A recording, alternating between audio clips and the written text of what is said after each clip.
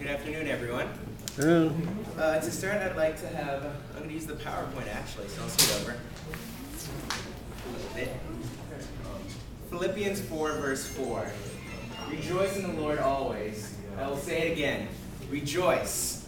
Notice the word in the middle, joy. Without that, it'd just be rejoice. uh, I have a question. How many people here how, how many of you here have ever just said, Praise God? You're just so happy you say, Praise God. But how many of you actually do it?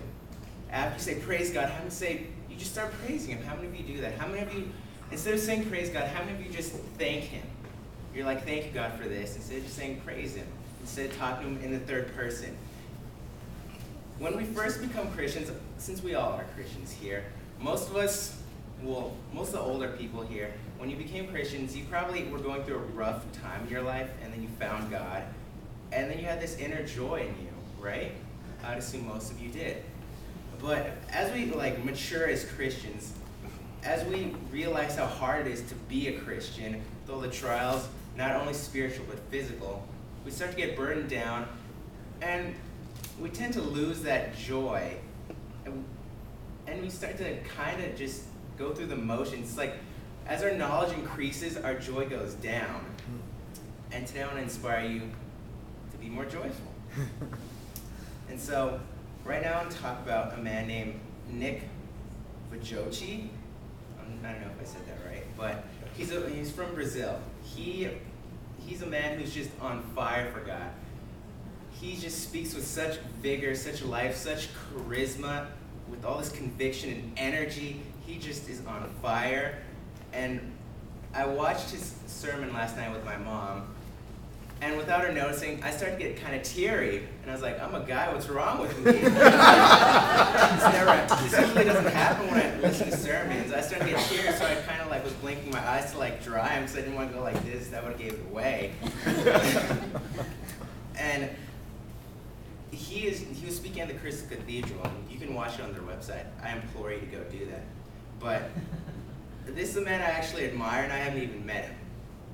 And this is why he's so great. He was born without arms or legs.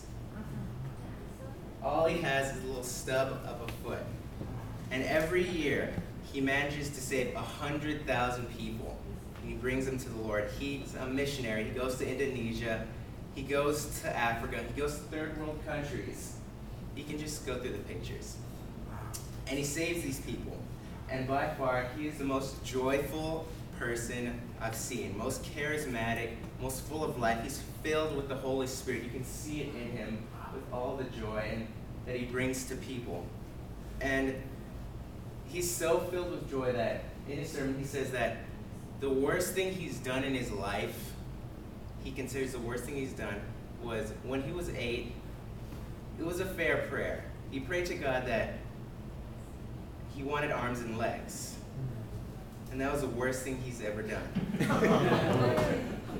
because and then God answered him and he said, I, I made you complete. I made you to serve a purpose. You don't need arms and legs to serve the purpose I've done for you.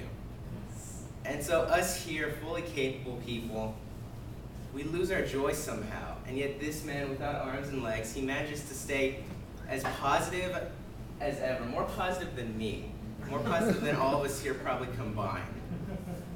We need to find, we need to ask God, we just need to pray and appreciate everything we have because we have a relationship with a God, the creator of the universe, and He wants a personal relationship with us. We tend to forget that oftentimes but it's something important that we need to remember and we always need to have instilled in our hearts so we have an underlying joy no matter what trials we go through, no matter what we do.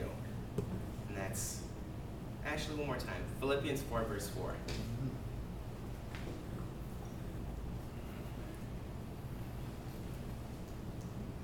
Rejoice in the Lord always. I'll say it again. Rejoice.